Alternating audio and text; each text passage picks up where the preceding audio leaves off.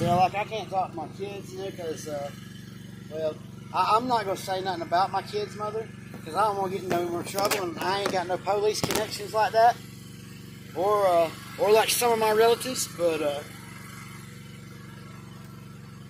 buddy of mine came at me the other day. Apparently, my youngin had uh, asked to borrow some equipment to do something. I, you know, I can't say. Well, I'd tell him, uh, or no, I can't tell him to tell him anything. I can't pass anything third party.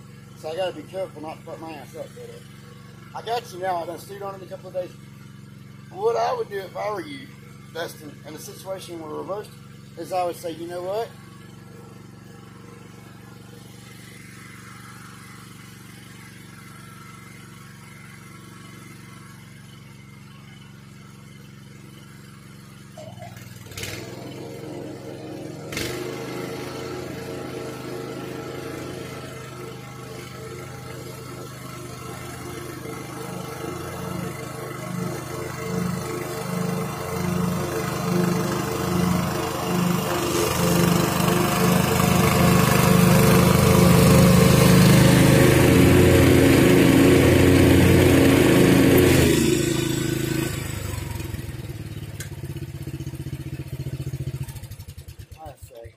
Reagan.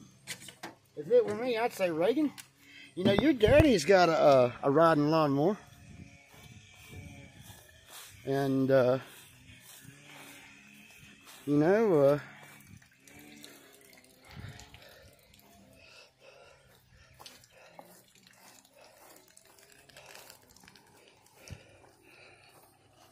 your daddy's got a badass brand new weed eater he just got. So if I were anybody and my son were trying to borrow their equipment, if I were them, I would. Won't you go borrow your daddy's riding lawnmower and weed eater? Won't he let you use it?